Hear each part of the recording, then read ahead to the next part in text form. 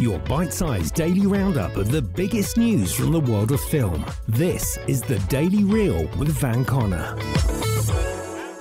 Good morning. It's Tuesday, March the 30th. Birthday to such legends as Robbie Coltrane, Paul Reiser, Warren Beatty, and Sharknado star Ian Ziering. Nope, totally not an Ian, it turns out. Today's the day the hugely influential Beetlejuice was released back in 1988. It's the day the first Spy Kids movie opened in 2001. In 2007, it was the day Blades of Glory came out, and in 2021, it's the day these things happened.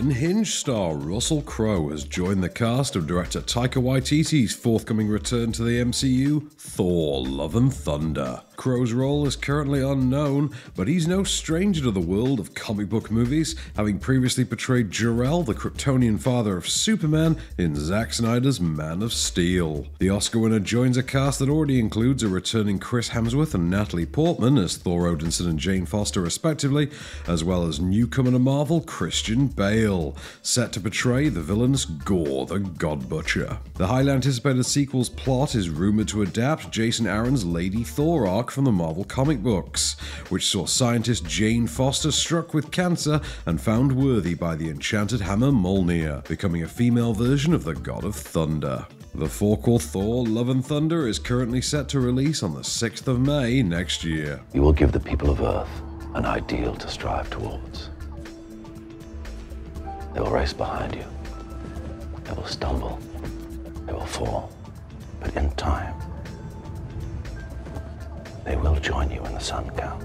Arrested Development's Tony Hale has signed up to join Aaron Sorkin's forthcoming biopic, Being the Ricardos. Hale will play executive producer and head writer of the classic sitcom I Love Lucy, Jess Oppenheimer, in the project, which chronicles a week in the life of iconic comedy duo Lucille Ball and Desi Arnaz. Nicole Kidman and Javier Bardem are already lined up to lead the movie as Ball and Arnaz, while J.K. Simmons and Nina Arianda have also previously announced as two of the pair's television co-stars William Frawley and Vivian Vance. Alia Shawkat and Jake Lacy join the project with Hale, meanwhile, as members of the show's writing team. And rounding out the cast is Iron Man and MCU agent Coulson, Clark Gregg, along with Nelson Franklin, John Rubinstein, and Linda Lavin. While the real life children of the film's focus, Lucy Arnaz and Desi Arnaz Jr., are both already on board to executive produce. Being the Ricardos is presently without a release date, though shooting is reportedly scheduled to commence next week. Yes,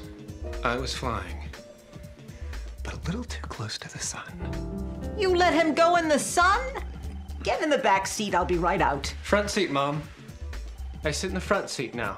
The 74th EE British Academy Film Awards have announced that Noel Clarke will be awarded this year's Outstanding British Contribution to Cinema Award. Clarke, who's being honoured for his work as an actor, writer, director, and producer, broke out in 2005's revival of Doctor Who and later went on to act in and write Kidulthood, as well as directed sequels Adulthood and Brotherhood. The actor co founded Unstoppable Entertainment, his own production company, in 2007. Since then, Unstoppable has produced 13 feature films and recently broke into television with Sky's successful series Bulletproof. Noel is an inspiration to me and to many others for his central and much needed role in supporting and championing diverse voices in the British film industry, said Marc Samuelson, chair of BAFTA's Film Committee. He is a multi hyphenate who early on in his career has managed successfully to cross the line from respected actor to filmmaker. I cannot think of a more deserving recipient for this year's award. In response, Clarke released a statement saying, Thank you, BAFTA, for this acknowledgement and recognition of my work over the past two decades. I will endeavour to continue to make groundbreaking work and open doors for underrepresented people. Clarke's award will be presented to him on the 10th of April as part of the BAFTA's opening night ceremony. Tell me, this must be Mickey. Here comes trouble. How are you doing, Ricky boy? It's Mickey. Don't listen to him, he's winding you up. You look fantastic. The Boys from Fengkuei is added to Mubi for today, while on Freeview you can catch Passengers on 4-7, or there's Dan in Real Life, the remake of Pink Panther, Alpha Dog and the Guest on Sony Movies, Jack Reacher and Paul W.S. Anderson's Death Race on ITV4, Scream 2 on 5 Star, Monster Trucks Keeping Up with the Joneses, Bumblebee or Mary Magdalene on Film 4, or even Joss Whedon's Serenity or Hostel Part 3 on the Horror Channel, while the Sky Cinema and Now TV offering today is the Scott Adkins actioner Seized. That was the Daily Reel for Tuesday, the 30th of March. Keep it cinematic. We'll see you tomorrow. The Daily Reel is a Candy Store production, presented by Van Connor and written by Calvin Prickett. All information is correct at the time of writing, and source links are in the description for each episode. Don't forget to rate, review, and subscribe on all good podcast platforms, or ask Alexa to install the Daily Reel skill for your morning flash briefing. Follow the show on social at Daily Reel Pod, and we'll be back every weekday. Until then, keep it cinematic.